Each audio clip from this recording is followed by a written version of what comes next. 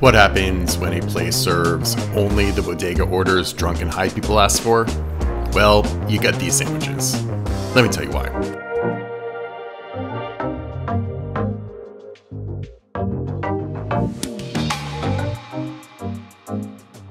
Compton's has two locations, one in Queens and one in Williamsburg, and I went in to try three wild sandwiches that make people love them. First up, the Egg Everything, which has soft scrambled eggs, cheddar, bacon scallion, cream cheese, hash browns, and an everything bagel hot sauce. Mmm. Oh. What I liked was how all the flavors hit you one by one one. You're first like, ooh, that cream cheese really is nice. Mmm that hits your mouth, and you're like, wait, there's a little smoky, salty bacon in there. I like that. And then, like, oh my god, wait, the heat's building, the heat's building, the heat's building. The jalapenos hitting you. That's a good bite. And you know what? I appreciate the bodega roll. Do not get fancy with it. Will this be better on a different type of bread? Possibly. Mm. Next, their vodka chicken parm, which has the chicken cutlet uh, with melted sharp provolone, ricotta spread, and a house-made vodka sauce. What? What did you say? I'm always a fan of vodka sauce.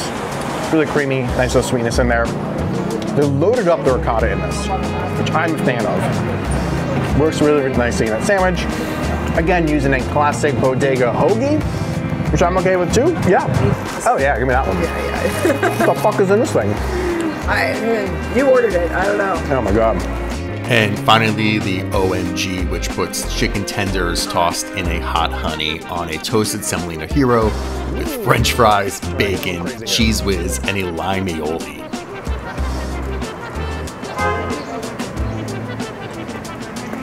This fills your body up pretty nicely, but you get a nice crunch, nice, you get a nice saltiness. The hot honey in there is really, really nice. And you're like, french fries in a sandwich? Is it necessary? No. Am I going to complain? Absolutely not. Hmm.